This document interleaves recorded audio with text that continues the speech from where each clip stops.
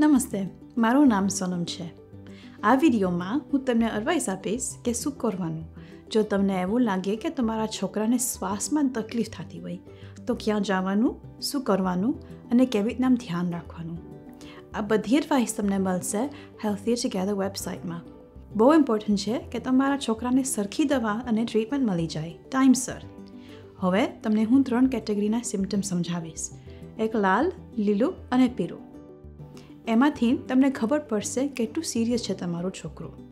પહેલી કેટેગરી છે લાલ.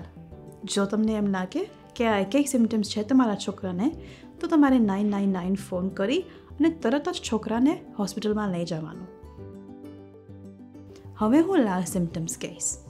છોકરાના હોઠ બ્લુ થઈ જાય, શ્વાસમાં ઇરેગ્યુલરિટી સંભળાય, શ્વાસમાં અવાજ સંભળાય અને કા બ્રીધિંગમાં પોઝ સંભળાય.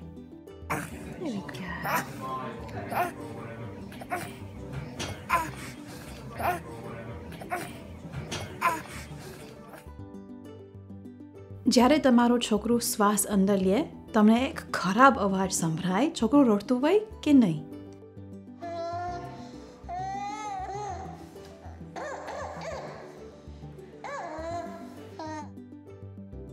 છોકરાને શ્વાસ એકલો હોય કે ખાઈ પી કા બોલી ના શકે?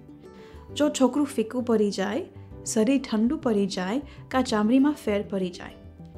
છોકરું એકલું રરે કે તમે ગમે એટલું કરો, તો એ છોકરું શાંત ના થાય. અગર તો છોકરું કન્ફ્યુઝ હોય કાં નીંદર બહુ આવતી હોય અને ઉઠી ના શકે. શરીર ઉપર રેશ દેખાય અને એની ઉપર તમે ગ્લાસ મૂકો અને જો રેશ એની નીચે તમને હજી દેખાય. જો તમારો છોકરો ત્રણ મહિનાની નીચે હોય અને શરીર સાવ સ્ટીફ થઈ ગયું હોય, કાં તમને એવું લાગે કે હાથ પગ શેક થતા હોય એમ સીઝર જેવું. છોકરું ત્રણ મહિનાની નીચે હોય અને બે દિવસ વેક્સિનેશન પછી તાવ રહે થર્ટી એટ ડિગ્રીઝની ઉપર. પણ યાદ રાખજો કે છોકરાને તાવ થાય વેક્સિન પછી બે દિવસ સુધી. બે દિવસ પછી અને પેરેસિટામોલ દીધા પછી જો તાવ ના ઉતરે, તો વન વન વનને ફોન કરજો. તમારા છોકરાને એસમાં હોય તો એસમાનો એક્શન પ્લાન જે આપ્યો હોય એ ચાલુ કરી દેજો. આ બધાય સિમ્ટમ્સ લાલ કેટેગરીના હતા. આ એકેય હોય તમારા છોકરાને તો નાઇન નાઇન નાઇનને ફોન કરવાનો અને એમરજન્સી ડિપાર્ટમેન્ટમાં લઈ જવાનો. હવે હું તમને પીરા સિમ્ટમ સમજાવીશ. જેના માટે તમારે અર્જન્ટ હેલ્પની જરૂર નથી, પણ જીપી પાસે જવાનું કા વન વન વનને ફોન કરવો જોઈએ. બ્રીધિંગ ફાસ્ટ થઈ જાય આ છોકરોને શ્વાસ લેવો અઘરો લાગતો હોય. તમને દેખાશે કે રિબ્સની નીચે રિબ્સની વચ્ચે અને ગળામાં મસલ્સ વાપરતા હોય શ્વાસ લેવા માટે. જ્યારે એ શ્વાસ અંદર લે, તમને ખરાબ અવાજ સંભળાય, જ્યારે છોકરું રડતું હોય. જો છોકરું ત્રણ મહિનાની ઉપર હોય અને પૈસા નથી ગયો, બાર કલાક સુધી. જો છોકરો ત્રણ મહિનાની અંદર હોય અને પૈસા નથી ગયો આઠ કલાક સુધી. છોકરુંને નીંદર બહુ આવે, ઘેન આવતું હોય, તાકાત ના હોય અને રડતું રહે. તમે ગમે તે કરો પણ.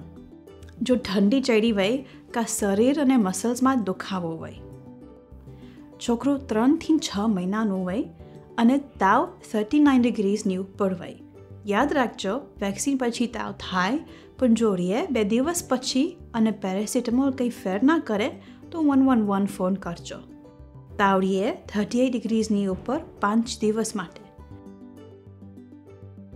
છોકરાઓ સાજા ના થતો હોય અને તમને વ્યાધિ થતી હોય આ બધાય પીરા સિમ્ટમ્સ હતા. આ એકેય હોય તો તમારા જીપીને ફોન કરજો, અર્જન્ટ અપોઇન્ટમેન્ટ માટે કા વન વન વન ફોન કરજો. યાદ રાખજો એકે લાલ સિમ્ટમ્સ થાય આના પછી, તો નાઇન નાઇન નાઇન ફોન કરજો, કાં ઇમરજન્સી ડિપાર્ટમેન્ટમાં છોકરાને લઈ જાજો. જો તમારા છોકરાને લાલ કા પીરા સિમ્ટમ્સ ના હોય, તો એ લોકો લીલો કેટેગરીમાં હશે. એનો મતલબ કે એ લોકોને અર્જન્ટ મદદની જરૂર નથી. પણ તમને વ્યાધિ થતી હોય, તો જીપી ફાર્માસિસ્ટ કાં હેલ્થ વિઝિટર પાસથી એડવાઇસ લેજો, કાં વન વન વન ફોન કરજો. છોકરુંને લાલ કા પીરા સિમ્ટમ્સ થાય તો નાઇન નાઇન નાઇન ફોન કરજો કે ઈડી લઈ જાજો. હું આશા કરું છું કે આ ટૂંકી ફિલ્મમાં તમને થોડી સમજણ પડી જશે કે તમારા છોકરાને તમારે મદદ માટે ક્યાં લઈ જવો, જો બીમાર હોય અને બ્રિધિંગમાં ડિફિકલ્ટી હોય.